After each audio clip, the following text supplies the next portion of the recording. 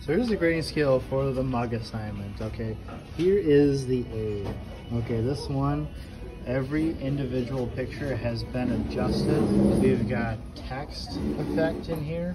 That is our A. B is no text effect and all the photos were just placed onto there.